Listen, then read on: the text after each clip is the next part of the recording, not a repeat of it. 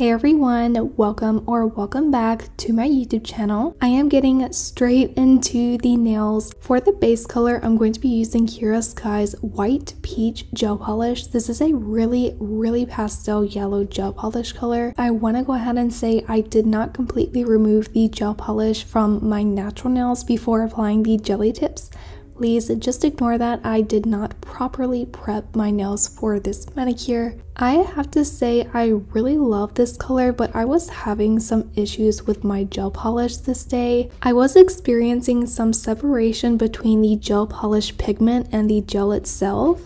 I tried shaking and rolling the bottle multiple times throughout this application and nothing was seeming to really help. I also felt like this gel polish color for some reason was being a lot more runny than Kiara Sky's typical gel polishes. I'm not sure if it's just because I haven't used this one but only once like a year ago or if it was just from a bad batch of gel polishes.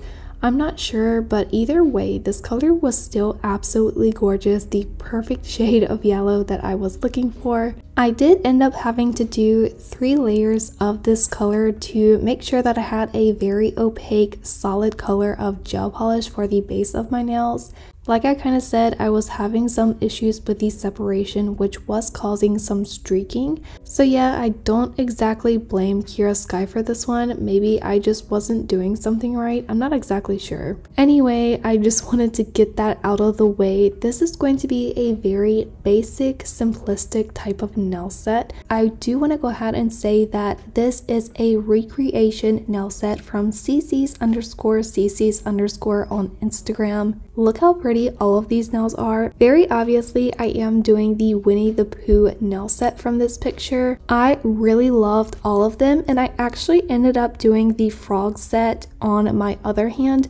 I didn't film it, but I will include some footage at the very end so you guys can see how it turned out. I have actually really been into Korean and Japanese style nail art lately. It's basically like all I've been looking at aside from character nail art. I actually already did an Easter themed manicure with this style. They turned out really cute. I also didn't record that one, but I do want to still show you guys the picture of it.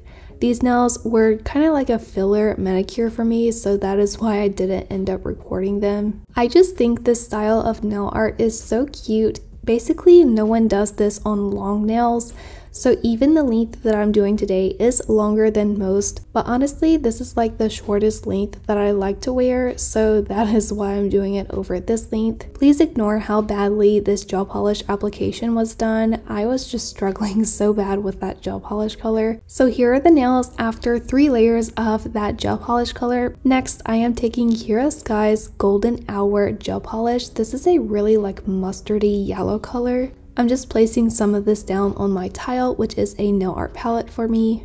I'm also taking Kiara Sky's non-wipe gel top coat and I'm placing some of this down just beside the yellow color. I will be mixing these two colors together to get a jelly yellow. Kiara Sky does have jelly yellow colors, but I don't have any of them, so I do have to make my own for this video. For the 3D nail art, I am using this 3D, 4D, or 5D sculpting gel. I'm not exactly sure which one this is. I have to go back and look at the listing. But this is a very thick consistency gel that is perfect for sculpting any type of 3D nail art. This Amazon listing did come with four different colors, so I am using the clear one. I initially did not think that this clear 3D gel was like as clear as it actually is. I kind of thought that it was more foggy, which is why I haven't used it up until now. I am using a Nails by Dev's silicone sculpting tool to pick up the gel. I did almost forget, but do make sure to put some gloves on before working with this product. You do not want to get any uncured gel on your skin. That can lead to contact dermatitis, which is not good. You do not want to have any allergic reactions to gel products. So from the initial bead of gel that I picked up, I had way too much. So I did start cutting it down with the chisel side of the silicone tool. I'm taking these smaller beads of gel and I'm just rolling them into a small hot dog type of shape. I'm going to go ahead and directly place this down on the nail. I'm not really trying to sculpt it out with my fingers because I will be using the tool for this and I placed another line of gel beside this one. This is going to be like drips of honey, So you do want to make sure it's as close to the cuticle as possible without touching. Once I have the gel placed, I am taking the pointy side of the silicone tool and I'm going to start very gently sculpting the gel into place. So I am going for a dripping honey effect. So I do kind of want the middle area of the drip to be thinner than the bottom portion and also the area around the cuticle is going to be slightly thicker. This is going to make the dripping effect. Basically, this is going to give the same effect of the slime drips that people draw around the cuticle area. We're just doing this with a 3D product. For the drip on the left, it was a little bit too big for what I wanted, so I did separate it into two different drips. One of them is smaller and the one on the left is bigger. I did want to alternate the lengths of these strips just to give it a more natural feel. Once I have the initial drip shape, I am going ahead and smoothing it around the cuticle and I'm going to go ahead and touch up anything necessary. For this type of product, it also doesn't really self-level, so you do want to try to get it as smooth as possible before you cure. Once I have it like I want, I did go ahead and cure for a full 60 seconds. Once the 3D gel is cured, I am going in with the liner brush and the transparent yellow color that I mixed up, and I'm just going to go ahead and paint over the 3D gel. For this, I'm just trying to get a very even coverage of the transparent gel polish color. Also, anytime you paint over something 3D like this, you also want to make sure to cover the edges very well. You do not want any of the 3D gel color showing through.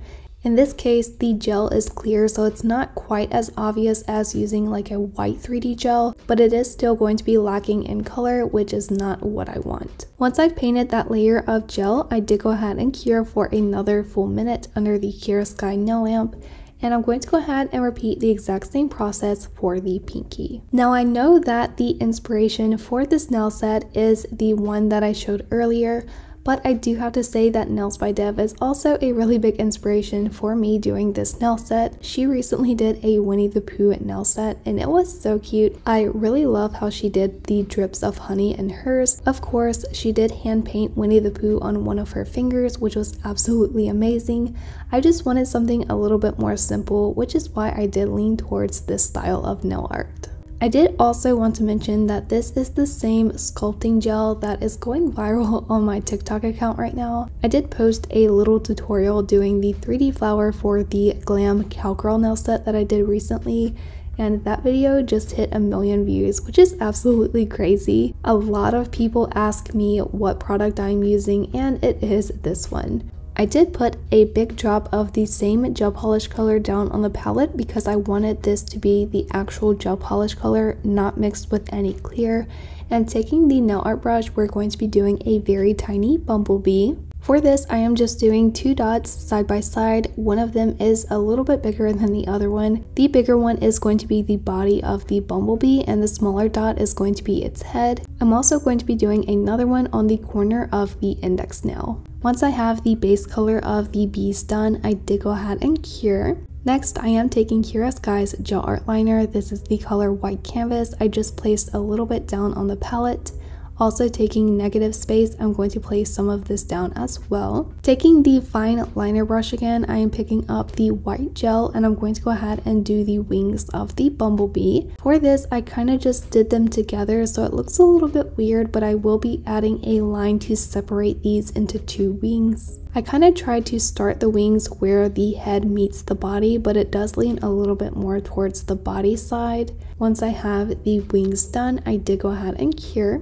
Next, I am taking the smallest amount of the black gel polish on the liner brush so the first thing I'm doing is going ahead and adding these stripes on the body. I went ahead and added a very tiny dot for the eye. I'm also going to go ahead and start outlining the wings. Like I said earlier, I am just splitting these into two different wings. One of the wings is slightly tucked behind the other one and I'm also going to finish outlining the entire bee. For any type of detailed nail art, you want to make sure not to have too much polish on your brush this is going to give you a lot of precision with your lines. I will admit my outlines for these bees are not extremely perfect because I wasn't going for a perfect type of nail art. And next, I'm just going to move on to the dotted lines that basically outlines where the bee has traveled. I'm not sure what to call this honestly, so I'm just gonna call it like the travel lines, I guess. I don't really know what this is called. I started at the back of the bee and just did a little loop going down towards the bottom of the nail and that is basically it. I'm going to repeat the exact same thing for the other bee as well. This bee will not have any of the travel lines, this is just the bee itself. Before I cure all of the outlines for the bees, I am taking a dotting tool and picking up the white gel liner color and I'm going to do a very simple dotted flower towards the cuticle of my index nail. I did also go ahead and cure for a full minute. Then taking the same yellow color, I'm just adding a dot in the center of the flower. I did go ahead and cure that. I am now taking Kiara Sky's top coat. This is for the gelly tip system and I'm going to go ahead and top coat everything. For this style of nail art, anything that is 3D you also want to top coat over top of. I usually didn't like when things like rhinestones are top coated over top of because the way the gel like bends from the nail to the rhinestone just doesn't look good to me. But this style of nail art just looks really good to me when the whole thing is top coated. To me, it just really gives off a cute, kawaii, like softer type of nail art design. And I think that's kind of why I like it. I do make sure to wipe off any of the excess gel that bubbles around the 3D nail art too much. I do like the look, but I don't want the top coat to take away from the 3D nail art. I'm also going to go ahead and add a layer of top coat to the thumbnail as well. After applying the top coat to all of the nails, I did go ahead and cure. Now for the fun part, I am taking the white colored sculpting gel. This is the same one as the clear one, it's just a different color. I am going to make sure to roll it into a ball and I'm going to place it down in the center of the thumbnail.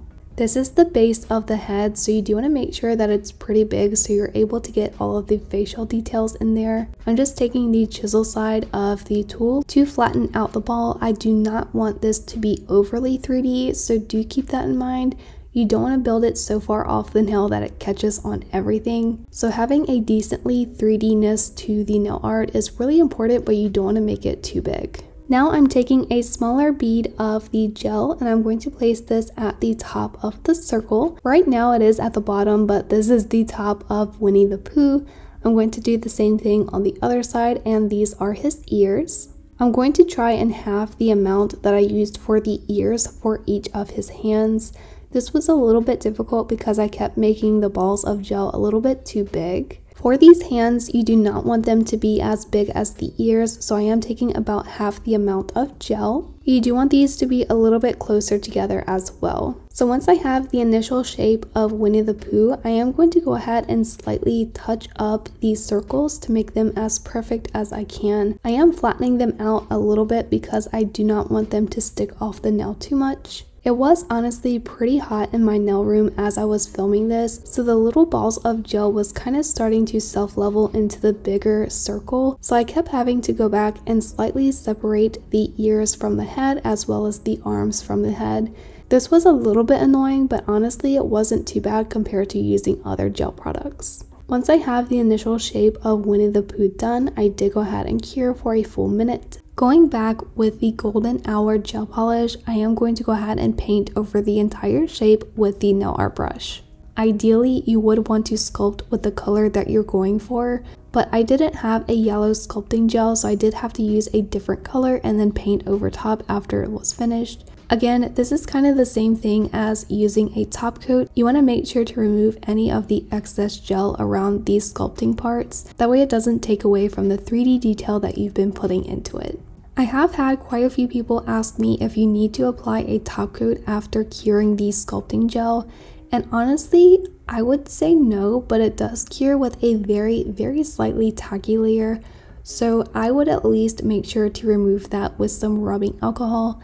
When I used this gel for the 3D flower for the Glam Cowgirl set, I did apply a matte gel top coat over top, but that was only because I didn't want my flower to be shiny. But yeah, if you do not mind the gel being a little bit shiny, you really don't have to apply a top coat.